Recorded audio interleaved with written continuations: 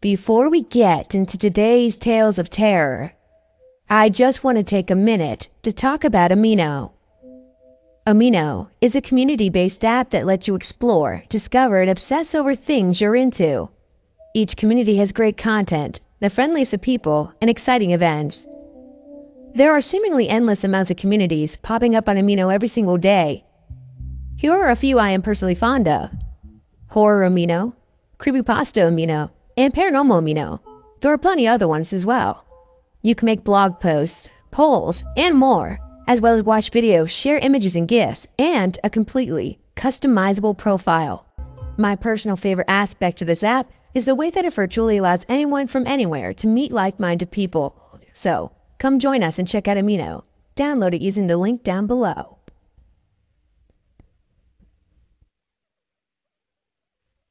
I was attacked by something. So last night my wife and I were outside, smoking on the front porch. We live in a small suburban town in the southwest. About 11:30 p.m., something swooped down out of the night sky and attacked us. Where it gets super sketch is that the second we fought it off and it flew away into the night, I could feel my memories of the whole thing fading, just vanishing out of my head. I ran in and started typing right away, and my wife was panicking and telling me not to write anything down, to just let the memories go. Much to her distress, I wrote down everything I could. I still retain everything I managed to write down that night. The physical description is about six feet tall, humanoid in appearance, except instead of arms, had giant, 21 foot wingspan wings. The wings were oval, best way I can describe it. Imagine an infinity symbol, 21 feet long and 6 foot tall. Now put a 6 foot tall man in the middle. The figure was entirely black except for the wingtips. Again, imagine an infinity symbol. The outline was reflective white, like you would use on a street sign. The rest was dark black. I couldn't make out or don't remember any features or other details. No tail, no horns, if that, if that helps at all. I don't know why it attacked us, and I don't know exactly how it attacked us. We have no cuts or anything, but it attacked. I don't know how we fought it off. I vaguely remember praying. I'm sorry that that's all I remember. My wife is very upset with me this morning. She doesn't remember a thing, and she woke up calling me Monster Hunter. I don't know why, but she was a lot more upset than I was writing it down. Now, of course, she remembers nothing. Can anyone offer any insight on this? I'm going to check my cameras when I get home from work, and if they show anything, I'll update. Update. My crappy cameras only show us going in and out of the house. It doesn't show us what we're looking at.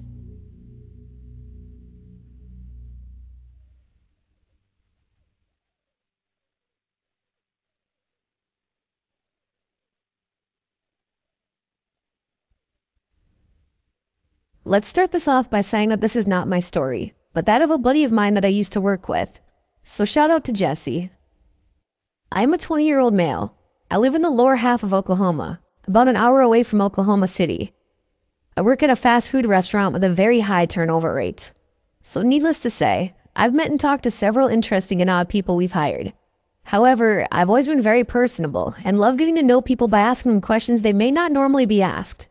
One day, Jesse and I were both off and began talking about the supernatural and how, even though I'm a skeptic, I still love hearing people's stories. When out of nowhere he gets really serious. His face goes slightly pale and he says, I have a story. By his sudden change in mood, I could tell he was serious. He was usually such a bubbly guy. Jesse said it happened like this. One day, Jesse and his friend, let's call him Phil, we're skipping school, as rambunctious kids do, in the same area we now work in. Phil's father owned several properties, but had one in particular that was never really used much. It was a plot of land with maybe around 30 acres, mostly just sparse trees and grass. But the thing about this property was that it had a house on it. One of those old, maybe 50s or 60s houses that looked like the people had just up and left one day with no reason or belongings. They just left. Being bored and not of anything else to do in rural Oklahoma, they thought it would be a good idea to go explore. It was about three in the afternoon and a bright and sunny day, traveling down the dirt road to the house. Arriving there shortly, they got out of their truck and walked the path leading to the house, moving the gate as they entered. The house itself was a two story old country style house, with a big porch and a somewhat sizable living room as it seemed. They both walked up the creaky porch, each step letting out a crackly sound as they moved. Phil decided to go explore the inside, while Jesse elected to explore the outside and porch. Phil went inside, leaving the barely hinged door open, while Jesse looked around. Exploring the porch, he found nothing of interest, so hopped off the porch and began walking around the side. As he did, he said he began to hear some sort of heavy breathing and heavy footsteps. Thinking it was only Phil, Jesse continued around the house. Now halfway around the large house when he suddenly heard the loudest shrieking sound he'd ever heard. He froze. Phil's father never used this land, let alone for livestock. Why would there be a goat out here? Before Jesse could move, a figure slowly walked from around the corner. It was tall, six foot eight or taller, and very lean and buff, he said. He nervously looked up at its head, only to find a more off putting sight. A goat's head sat on top of a muscular torso looming down on him and very obviously looking at him. Jesse snapped out of it and bolted back towards the path they came from, screaming the whole way. Phil, hearing this, ran out of the house yelling, What? What? What is it? When he too must have noticed the figure. Now closer to the porch, just staring at him. Phil took off too, catching up to Jesse, passing, and tripping Jesse. No joke tripping Jesse in hopes of a better chance of survival, maybe. Jesse, shaken but not hurt, got back up to continue running, but not before one last look back at that house. All he saw was the goat man, now standing in front of the house, just watching them leave, motionless. They both got to the truck fine. Jesse rightly ticked off by being tripped by his friend, and they hightailed it out of there. The moral of the story don't trespass on Goatman's property. And if you do, make sure you're faster than your so called friends.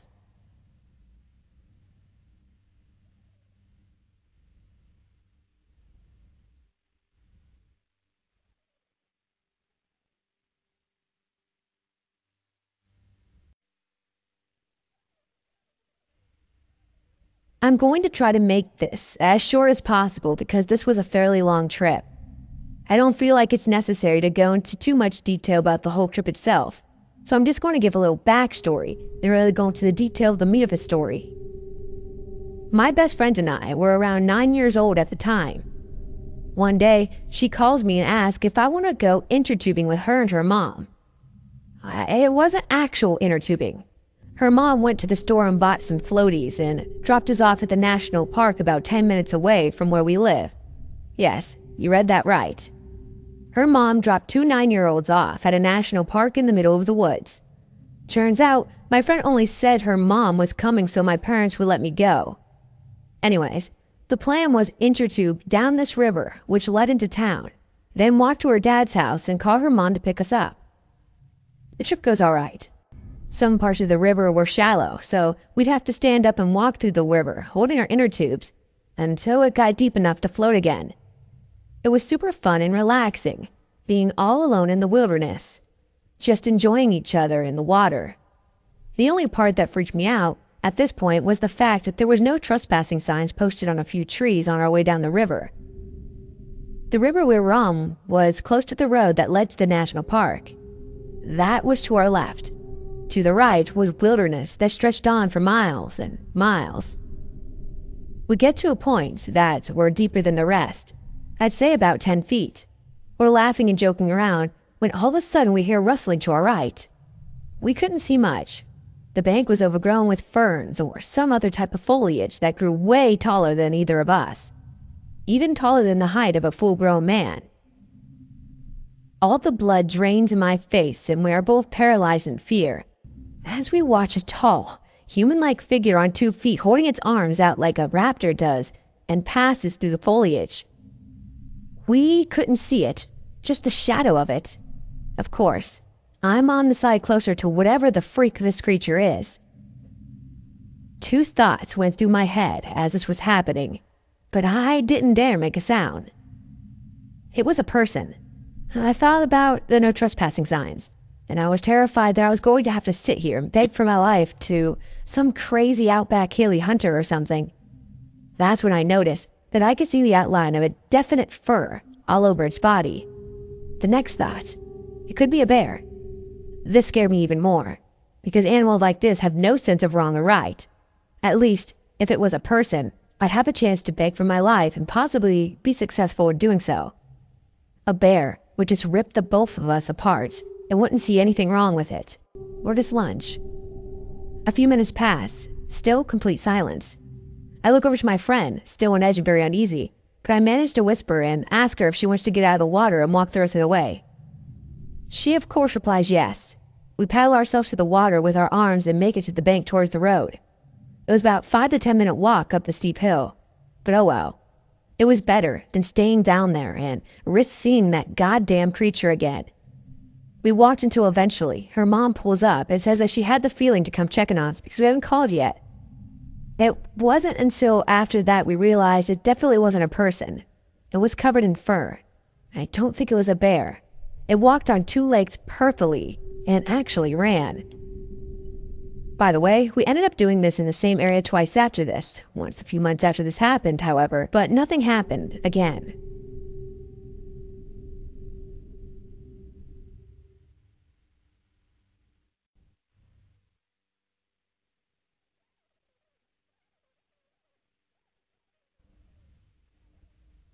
I deliver for a local pizza chain in southern Ohio. It's in a rather small city with lots of farmland and heavily wooded roads. So you can imagine, I have seen a few odd and unexplainable things while driving around during the night.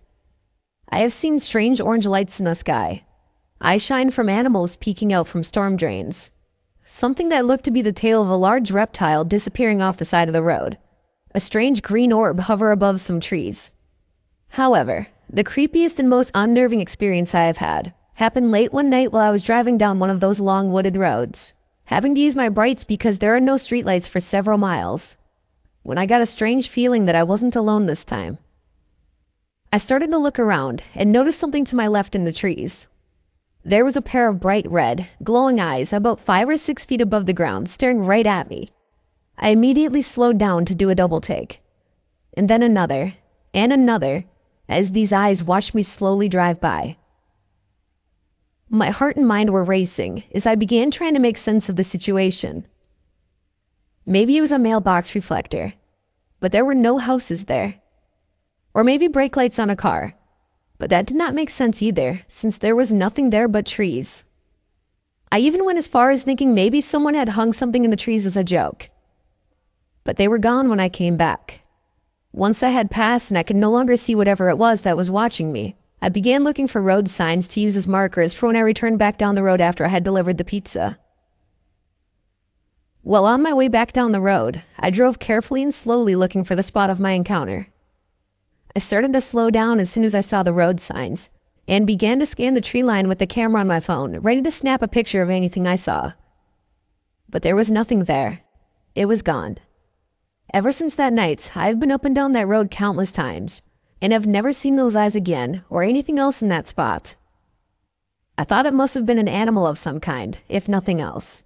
But when I did some minor research into different animals who have eyes that glow red, there were none living in the area. I have asked around and believe it was most likely the Mothman, but I have no idea why it would reveal itself to me. I may never know. I still frequent this eerie road, as well as many others on my routes. I will be getting a dash cam because most of the time when I'm on these roads, I feel as if I'm being watched, and I would love to catch something on camera to have as proof. Other than just my word.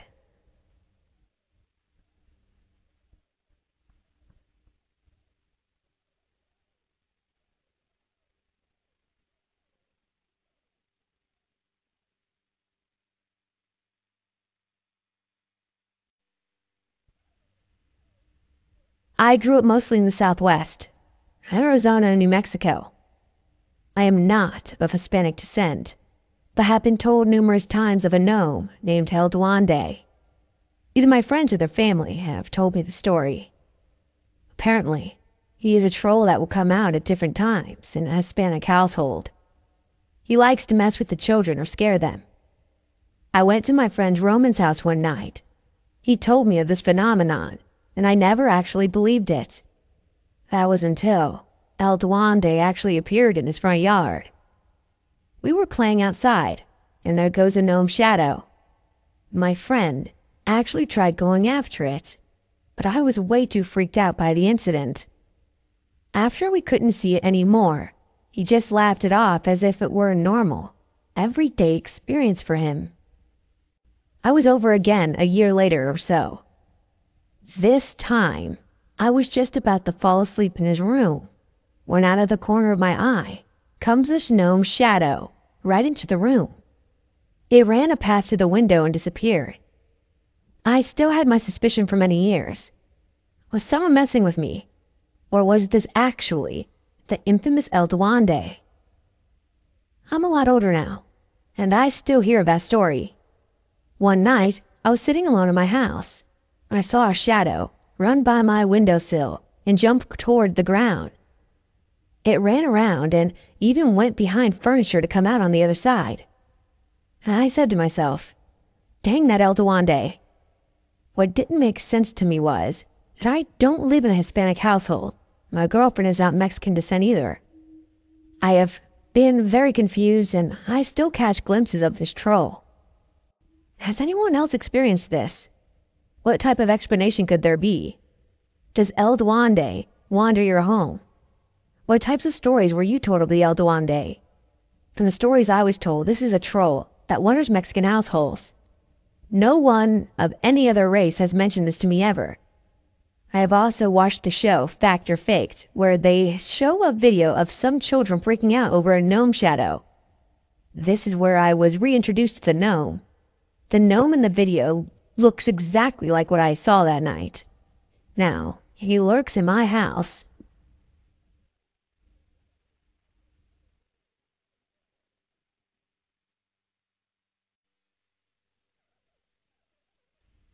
So I debated on sharing this simply because I'm not really sure what to call it. I am no stranger to the paranormal or cryptids out there, and normally I can label something when someone talks about it or if I see something. But this seriously messes with me, and even worse, I think it's trying to hurt people. Where I work, there is an attic. No, not a creepy little lit 30 attic. The attic at my work is large, well lit, clean, and of bright white. There is heavy metal racking that is empty a good part of the year, and we have steel grids on them. They are heavy enough to hold over a ton, but still lose enough that if you ran on them, they would make noise. Now, the attic has its fair share of awkward moments that I could write about, including at one point a poltergeist. But this is not the story I'm sharing.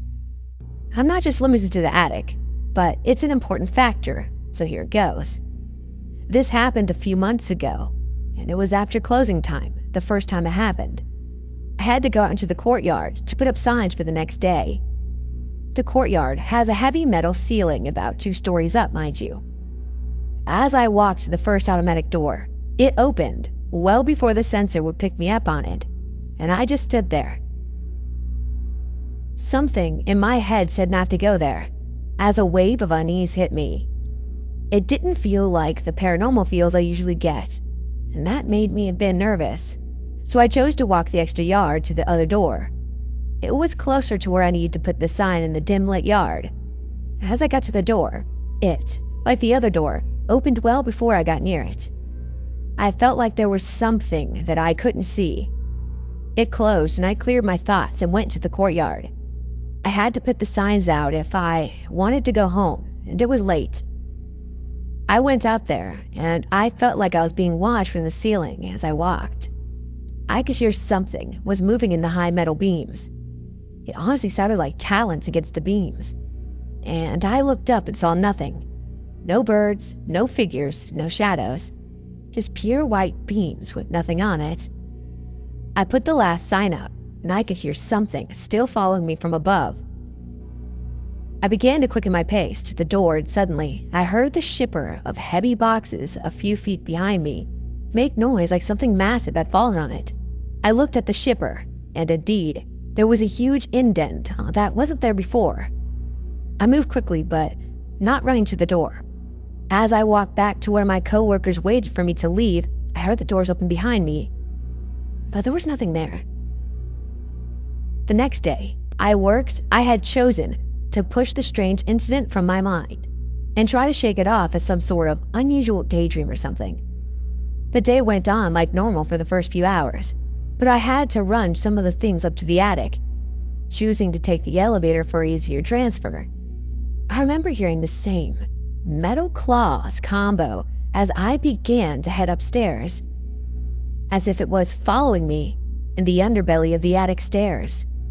It legitimately paused when I looked towards the sound and resumed when I started walking again. I decided to keep focused and not dwell on it.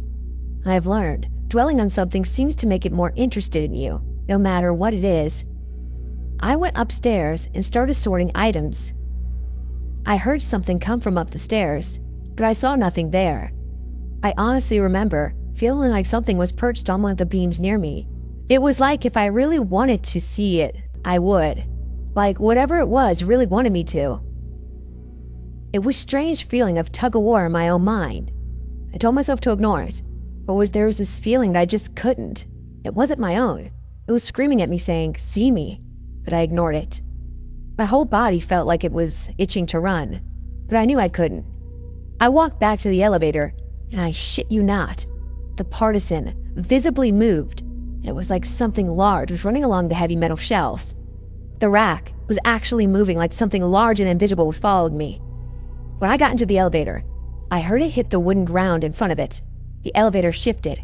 I stood there, focused on the doors. But I knew that it was in there with me. I felt like it was hovering near me, waiting for me to freak out and look at it. Instead, for some unknown reason to this day I can't explain, I reached for where I felt like it was, without looking. I tried to touch whatever it was. And I'm not joking. It felt like the elevator shifted, like something large had backed away suddenly and hit the wall as the doors opened. I walked out quickly, and since then, I have not heard or felt anything, and I've said nothing to any of my coworkers. Unfortunately, I don't think it's gone. Since then, there has been a ridiculous amount of injuries upstairs that no one can figure out. I myself got my hand nearly broken by the beams that fell at random. Another coworker said he felt like he tripped over something large that he couldn't see and had fallen down. So, is this some sort of invisible cryptid or maybe something paranormal?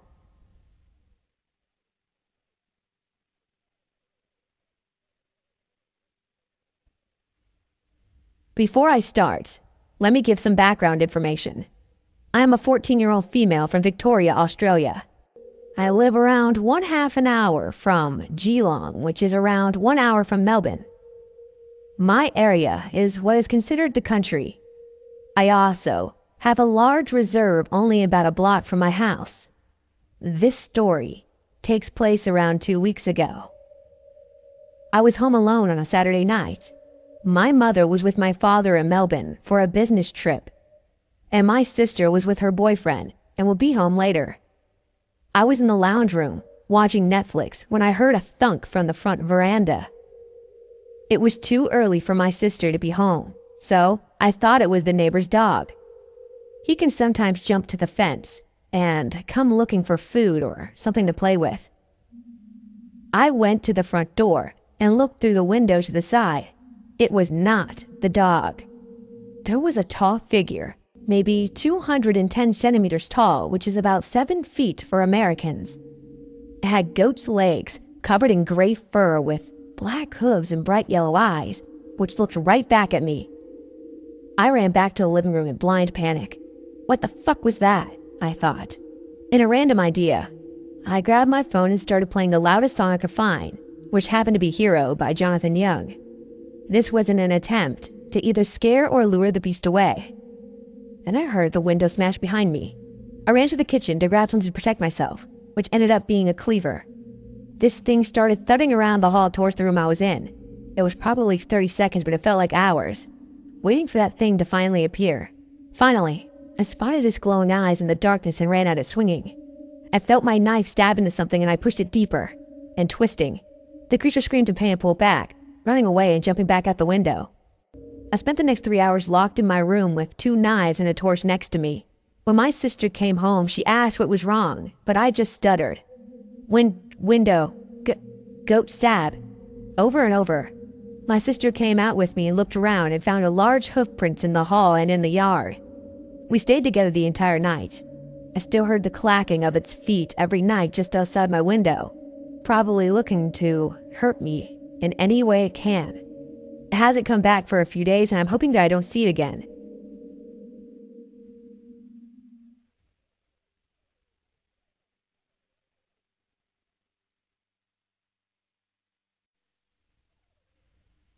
I've seen quite a few things that I have a hard time explaining. My father served in the military, was descended from a Native American tribe from up north, was a survivalist, and a complete sociopath that forced his sons into intense survival scenarios and then left us for weeks on end to see if we'd survive. I've seen some truly disturbing things during these camping trips, and some things in less stressful settings. Anyways, I'll get on with the sighting. I was 11. I had just moved back to America less than a week before. My family had decided to take a short road trip up to Maine to visit some family when we went off course. Being 11 and naive enough to think that I would actually make it to Maine before my father did anything stupid, I didn't pay attention to when he pulled off onto a back road. To this day, I do not know where I was dropped off at, just that it was in a dense, forested area. I think it was in New York, but I can't say for certain. I was kicked out of the car handed my canteen, my bow, my compass, and my quiver. I was told that they'd be back after visiting family, and I'd have 15 days out here. I did the basic survival stuff. Found drinkable water, built shelter, plotted out a rough map of the area in my head, and all of that stuff. It was my third or fourth night there when I heard what sounded like a woman screaming. Since mountain lions didn't come out this far east and bears were easy to scare away if it was one, I figured that I'd go investigate, in case that it was an injured hiker or something. After following the sound, all that I could find was a squirrel that was partially eaten. Since the screaming had stopped, I figured that someone had been hiking and came across those, but had left there calming down. So I went back to my shelter and settled in for the night. After that, though, the screaming became a nightly occurrence, and after the third night of not finding anything aside from evidence of a predator in the area, I decided to play it safe and stay in my shelter at night. Two days before my family would pick me up where I was, I woke up in the middle of the night to screaming right outside my shelter. I jumped out with bow in hand, my knife and arrow in the other. What I saw terrified me. It was about the size of a dog, but shaped like a deer. It had a very humanoid face and was covered in dull, dark scales. I panicked and shot it in the chest. It began hissing and wheezing as it ran off into the trees. I had thought about following it and killing it, but then I looked at its tracks. I saw something that convinced me otherwise. The creature's hind legs left behind the tracks of a small deer. The front legs, however, you'd see a person walking on their hands like a gorilla. Only the fingers ended with sharp claws, marks scratching up the earth while it moved. I didn't sleep at all for the rest of the night, and on the following morning I dug several holes around my camp, filled them with sharpened stakes, and covered them. I also did my squirrel hunting and harvested berries as fast as I could once my defenses were up, so that I wouldn't need to worry about losing my strength if that thing came back. It didn't that night. Not that I got any sleep anyway. In the morning, I just carved a simple warning into the trees around my camp that said danger traps and left. I didn't let go of my bow until after I was picked up and we had been driving for an hour. I honestly don't know what I saw or if the light had been playing tricks on me. I just know that I heard a screaming sound and that I know what I saw in the creature's tracks.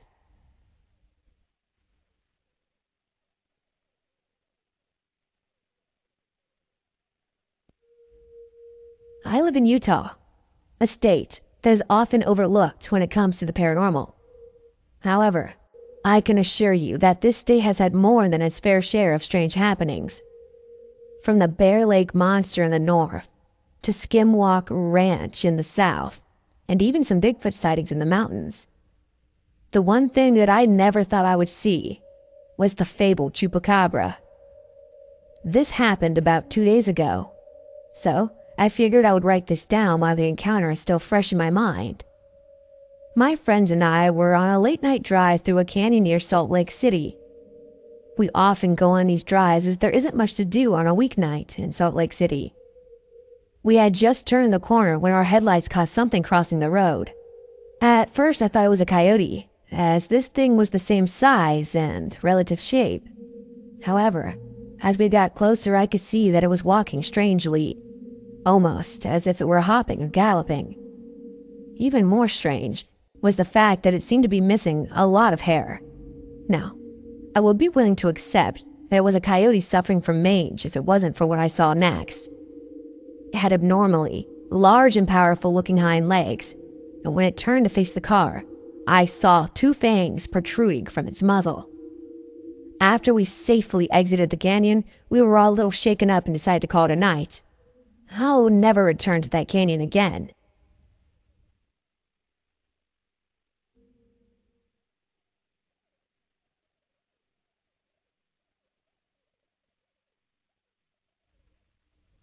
This happened a few years ago.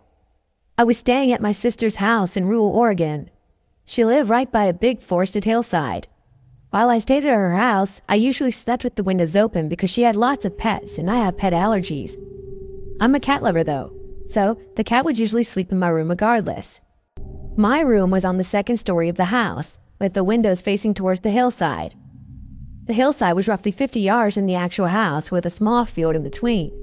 So, one night, at around 1 a.m., I was up on my laptop playing some Warcraft, when the cat jumped onto the windowsill and started growling and hissing. Then I heard a very large thing start crashing through the brush on the hillside at a running pace.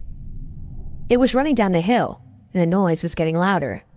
Every time I got to the bottom, though, it would run back up. This went on for about 10 minutes. Then it would reach the bottom another time. I heard what sounded like some kind of animal squealing in pain. It was ear piercingly loud, and at that point, the cat stopped growling and ran to my room and I just sat there with my face pressed on the screen on my window, trying to see whatever that thing was. I could hear the bones snapping on whatever it was eating. Then I heard it exit the brush and it stepped into the field.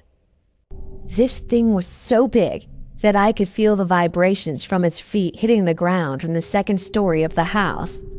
And while it was still about 40 yards away, I still couldn't see it in the darkness, though. So I went to find a flashlight. Once I found it and shined it out there, all I saw was this thing on all fours. It was still pushing about five feet tall.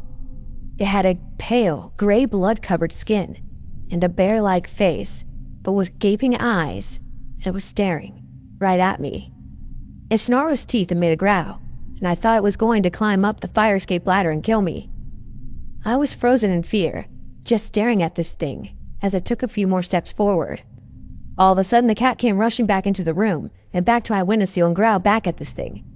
It glared at the cat for a moment and then retreated to the hillside, crashing through brush again on its way back up. I followed with my flashlight and saw a pair of glowing eyes once it got to the top, as if it stopped to look back. Then they disappeared.